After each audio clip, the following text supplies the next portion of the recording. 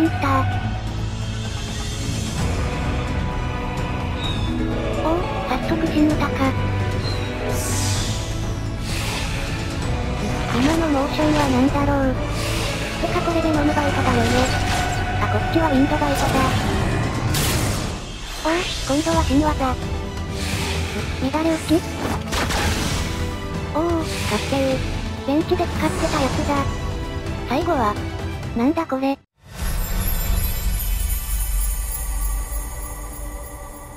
ゆっくりしていってね。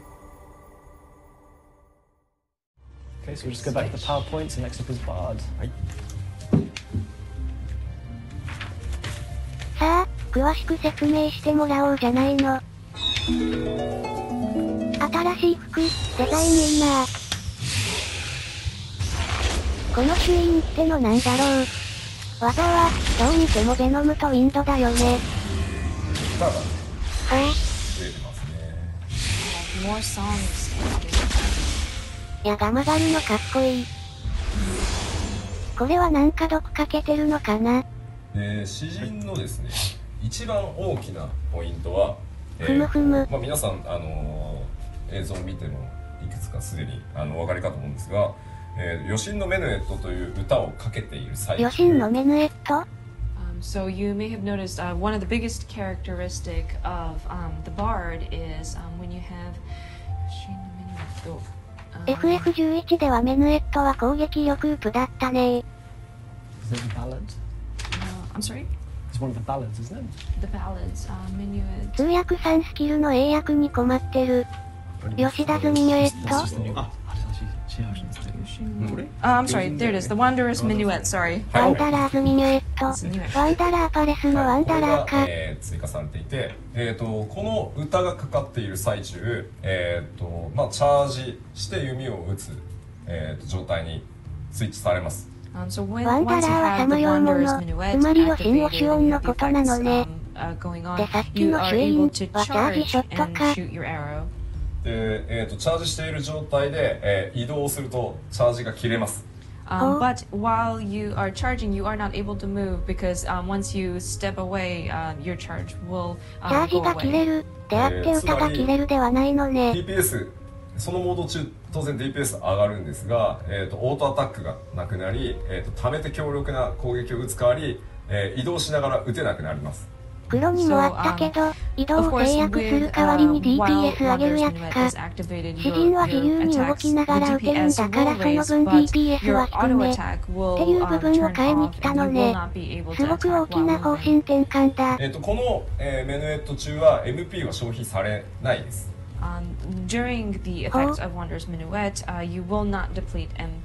この歌をスイッチしながらですね。歌っていうか、スタンスに近いのね。でこの歌は他の歌と,、えー、と同時に使うことができます。Other 同時に songs 2曲歌うってどうやるんだ of 1 this, 曲目は口で歌うとして、Minuet. 2曲目は、ですのであのシチュエーションだったりフェーズボスのフェーズだったりに合わせて、えー歌を切り替えながら、えー、と戦っていくっていう形になります。今後は uh, 動けるフェーズと動けないフェーズをしっかり覚えて、それに合わせて歌を um, 切り替える必要があるってことねですので、まあ、忙しくこう、えー、と逃げ回らなきゃいけない時に当然メネット使ってあのると全然 DPS 逆に出なくなるのでそういった時はあのメネット切った状態で今まで通り戦っていってこのタイミングではあの足を止めてあの DPS 高火力にするっていう時に、えー、とソングを使うというイメージになってます。今まで詩人は動きながらでも DPS 落ちないからギミック役に最適だったんだけど、今後はギミックは賞賛にお願いしますね。しかしチャージ中に移動したら行動がキャンセルって、それほとんどキャスターだよね。私は黒も召喚も上げてないから、うまく動かせるか不安だな。あとは、えっ、と、サイドワインダーというような、えっ、と、サイド。アビリティを、えー物理攻撃使うことで、えー、とドットすでに乗っているドットのダメージをさらに引き上げたりなどサイドワインダーは横ばいガラガラヘビっていうヘビの名前と、それにちなんで付けられた誘導ミサイルの名前。ってことはあの曲がるウェポンスキルだろうな。小技を効かせながらですねモードをうまく切り替えてまたかつソングを切り替えて、えー進めて、えー戦っていくというのが新しい詩人の役割になります Um, so ドッ you'll トの be 管 kind 理 of が今まで uh, 以上に switching 重要にな between るっ the てこ different とね。 actions and kind of これは uh, めんどく making sure さ that に you かる have で the すね。 effective uh, tricks uh, kind of incorporated in your um, execution of the action, and then you're switching between the songs to effectively attack your enemies. はい Okay. と、ここまでか。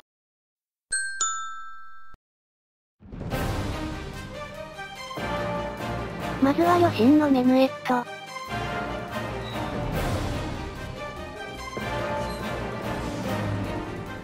うん、バラードと一緒だから3秒だね。これはスタンスの切り替えとして見るとちょっと重めの時間コスト。あまりコロコロ切り替えるのではなく、ある程度まとまった時間はメヌエットでいないと割に合わない感じか。じゃあ次、メヌエット中のチャージ時間はどうだろう？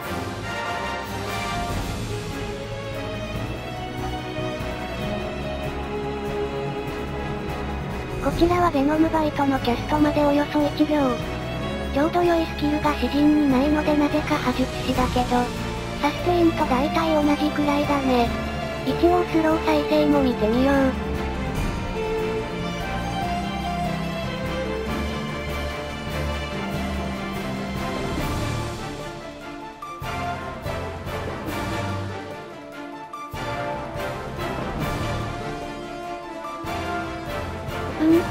ぱり大体一緒だね。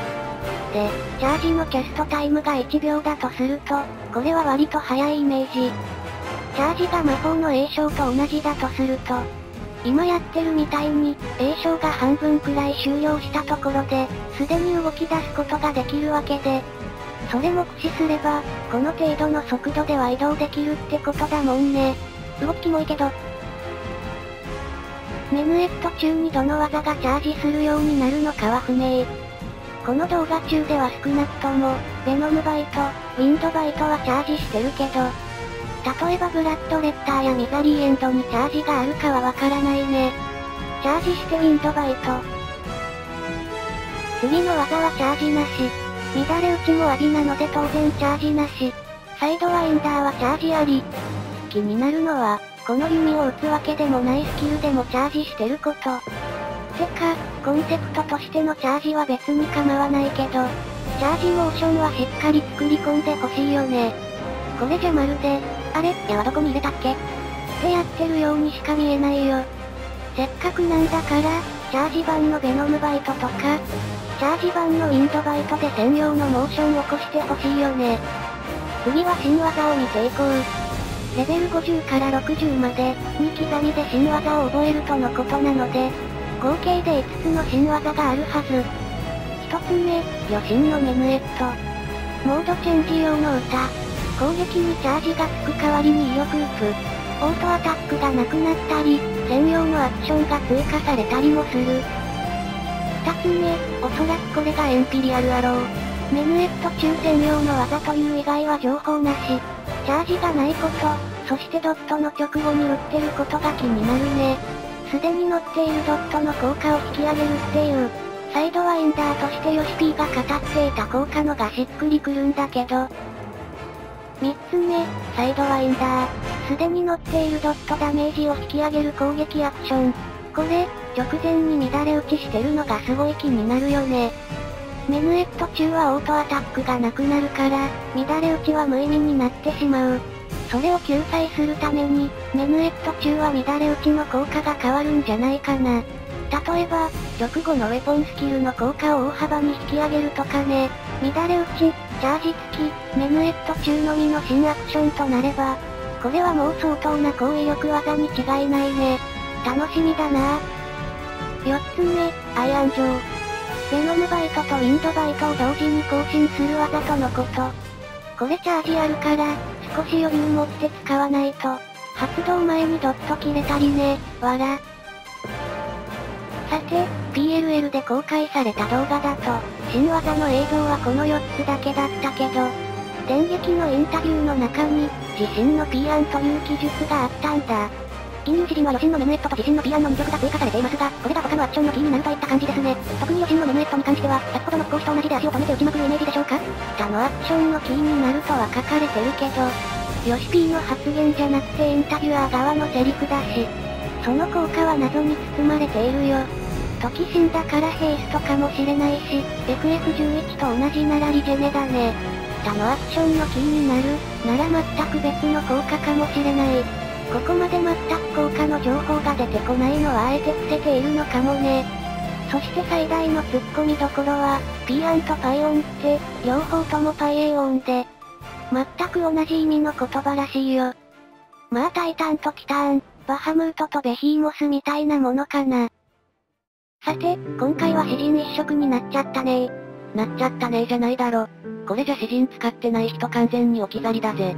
詩人を使ってない人がこのウプ主の動画を見てるわけないので、その点は問題ないと言えます。マジかよ。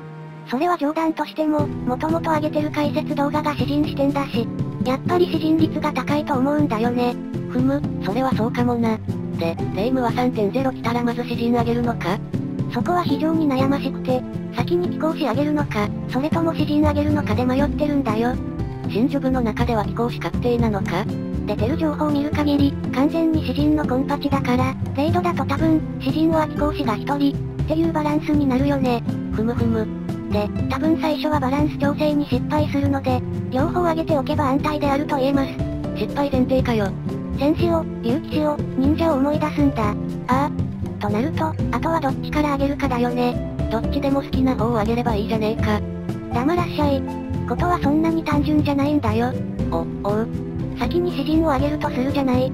そうすると、気になるストーリーや、新しい晩神など、イシュガルドでしか楽しめない諸々をいち早く体験することができる。じゃあ詩人だな。でもみんなが一斉に自分のメインジョブを上げると、どう考えてもロール比率が偏るんだよ。遠隔 DPS なんて一番待たされるから、全然シャキらないこと間違いなしだよ。でもそれは貴公子でも同じじゃね？本当にそうでしょうか？なんだよ。低レベルなら暗黒騎士がいるじゃない。暗黒は開発チームの中にエネルギーを結集して作り上げられた究極の中二ジョブ。ユーザーのほとんどは中二病患者なので、暗黒フィーバー中が CF で DPS を上げるチャンスだと言えるのです。お前はユーザーを何だと思ってるんだ。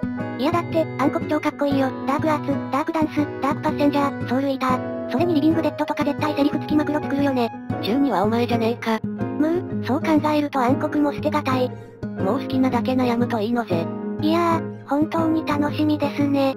楽しみだな。マリサは何やるの？私は先生術しかな。ギャンブル要素がたまらないぜ。